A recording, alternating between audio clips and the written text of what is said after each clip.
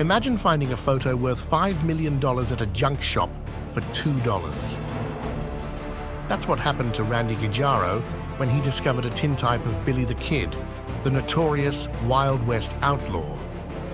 A man named Randy Guijarro bought a photo at a junk shop for $2. It turned out to be a rare photo of Billy the Kid, and it was worth $5 million. Guijarro worked with National Geographic to prove the photo's authenticity, and their documentary about his journey aired in 2015.